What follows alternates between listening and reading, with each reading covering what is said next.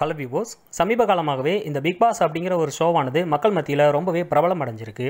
குறிப்பாக விஜய் டிவியில் ஒளிபரப்பாகி பல எபிசோடுகளை கடந்து போய்கிட்டு இருக்க இந்த பிக் பாஸ் அப்படிங்கிற ஒரு ஷோவில் தமிழ்நாட்டோட முக்கியமான பிரபலங்கள் எல்லாருமே கலந்துக்கிறாங்க. தமிழ்நாடு மட்டும் இல்லாமல் வேறு மாநிலங்கள்லேருந்து தமிழ்நாட்டில் வந்து செட்டிலான முக்கியமான பிரபலங்கள் இல்லை மக்களால் அதிகமாக கிசுகிசுக்கப்பட்டவங்க இந்த மாதிரி பல பேரை கண்டுபிடிச்சு அவங்கள நூறு நாள் ஒரு வீட்டுக்குள்ளே அடைச்சி அவங்களோட நடவடிக்கைகளை கண்டறிஞ்சு பல டாஸ்க்குகளை கடந்து யார் அதில் வெற்றி பெற்று வராங்க அப்படிங்கிறத தான் இந்த ஷோ மூலமாக காட்டிக்கிட்டு இருக்காங்க.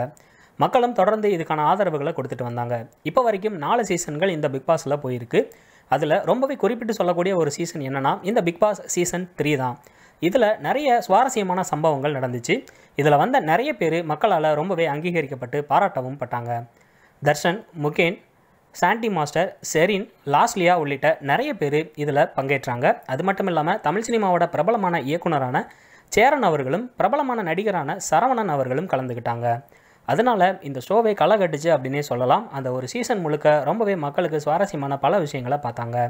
இதில் எல்லோராலையும் கிசுகிசுக்கப்பட்ட ஒரு விஷயம் என்னென்னா அதில் பங்கேற்ற கவின் மற்றும் லாஸ்லியா இவங்க இடையே காதல் மலர்ந்துச்சு அப்படிங்கிற ஒரு விஷயத்தை தொடர்ந்து பார்த்துக்கிட்டு இருந்தாங்க.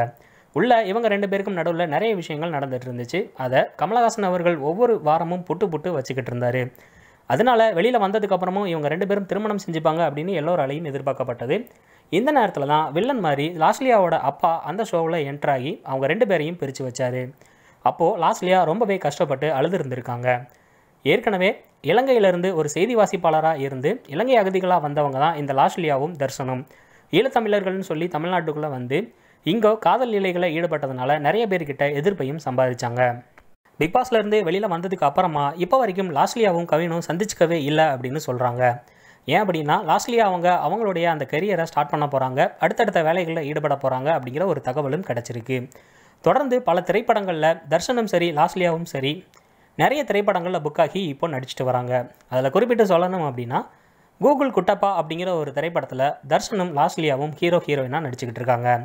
மலையாளத்தில் ஒளிப மலையாளத்தில் வெளியாகி ரொம்பவே வெற்றிகரமாக போன ஆண்ட்ராய்டு குஞ்சப்பன் அப்படிங்கிற ஒரு திரைப்படத்தோட தமிழ் ரீமேக்கான இந்த கூகுள் குட்டப்பா அப்படிங்கிற ஒரு திரைப்படத்தில் தான் லாஸ்லியாவும் கவினும் நடிச்சுக்கிட்டு இருக்காங்க. கவின் அவர்களும் தனியாக நிறைய திரைப்படங்கள் நடிச்சுக்கிட்டு இருக்காரு. இந்த நிலமையில் அவங்க ரெண்டு பேருமே பேசிக்கிறதே இல்லை. சமீபத்தில் லாஸ்லியா தரப்புலேருந்து ஒரு விஷயம் சொல்லப்பட்டது.